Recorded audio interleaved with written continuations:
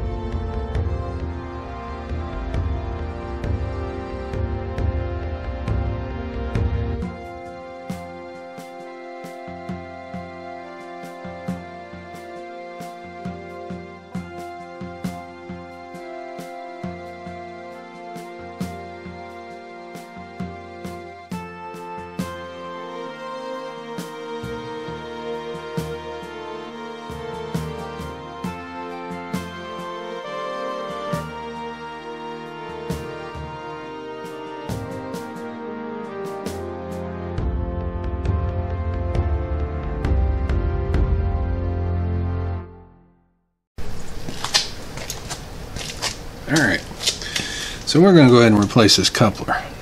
Notice you got the key in. Slide that on. Always helps put a little bit of something on there and a rust or whatever. You just want to tap it a little bit.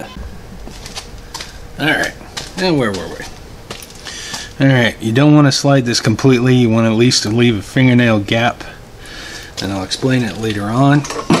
so you just go ahead and spin it around a little bit. And I'll put down in the lower section what size Allens. These are six times one metrics. And if you notice when we took them out, we had a little bit of an issue where they were nice enough to come out. So I went ahead and put some blue Loctite on there. And I'm just going to tighten that lock in there. Okay. On the house, you got open side, closed over side. Well, we're going to take the closed over side and put it up here. And these are 13 millimeter bolts. Well, 13 millimeter heads. There we go. Let's get them started.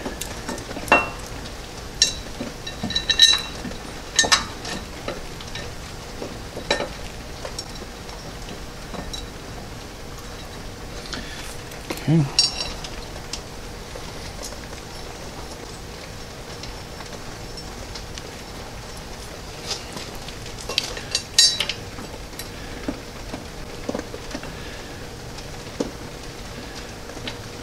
It's raining, by the way. Alright, somebody's going to say, well, you're doing it wrong. Well, you know what? Teach their own. But if you notice, got a line right here. If you remember, the coupler was all the way in the house. That line is where the coupler needs to rest. So, before anybody panics, we'll line that up after we get this all situated. Okay? So go ahead, tighten this up.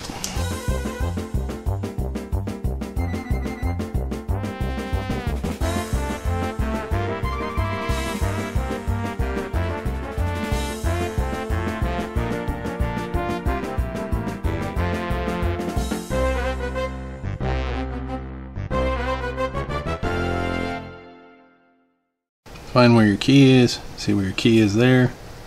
Might have to spin the engine around a little bit to line it up.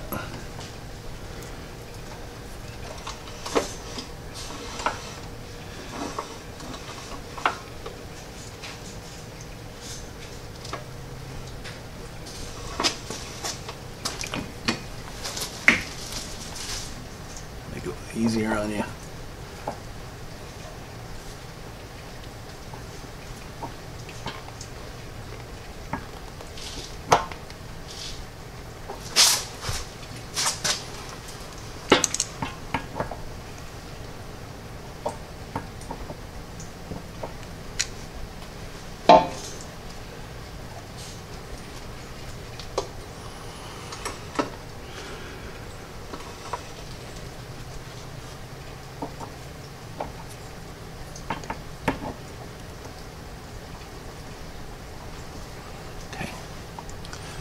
What you got there.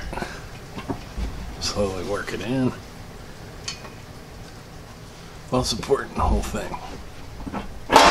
Okay.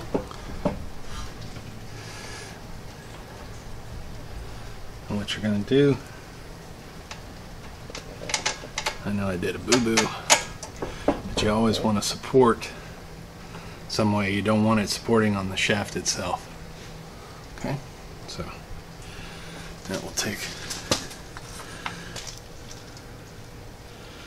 and washer and lose the nut.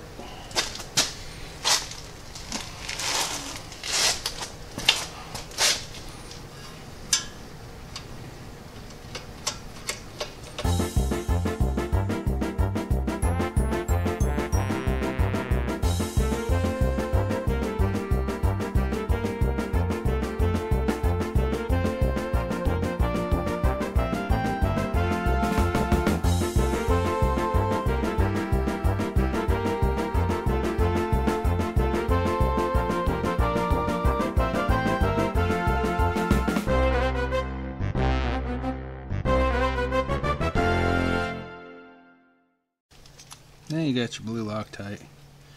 You want to use your 2.5 millimeter hex head wrench. You're going to notice it wobbles and everything.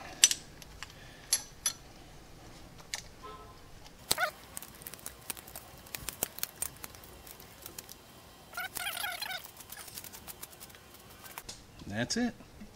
Next stop, just run it see what it does. Everything should be fine. Double check, make sure you're inside where everything is. Let your blue Loctite dry for a while before you get in there and get creative. But you should be good to go. Okay, so you see the dampener and everything is doing good. Key is in there, but just be mindful that every once in a while, just come out here and check it just to make sure that your key hasn't come back. On the other side, you'll have to look inside through there and see if your key is trying to come up through that way. But if you notice, the dampeners, the dampeners are looking fine. They're actually pressed the way they should be. There's no major gap. It's just what is between the dampeners. Oh, focus. You'll notice that there's little nubs on the dampener. They're on each side, just kind of like what they use to center it. So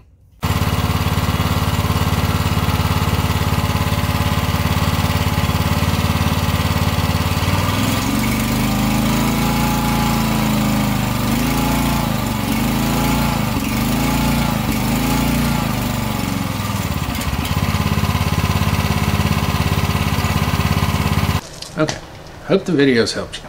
Hope it's something that y'all, can everybody that owns one, or even somebody who's potentially thinking oh, of one, I hope you really think about it and look at it and keep an eye on that.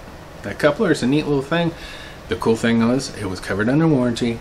I got it in two days. Besco, you guys did great. Here's to you. Now, that being said, one other thing I did find with this. Okay, when you have the boom and that is the piece that is attached to the main body of the uh, backhoe. And it's basically up and down. And you have the other piece that extends out. Well the main piece the boom if it's on it's on the right hand controller. If you have your hand and you're pulling it like you're lifting it up and trying to swing a load if you're trying to swing that load that boom starts coming down. If you try to pull it back and extend your load, making the other arm come in and out, it starts coming down. Also, if you're using it and you're wanting to do it in conjunction with like go ahead and reach over here to open or close the bucket, it'll start coming down again. And when I say coming down, it's not like slow see. I'm talking it just starts coming down.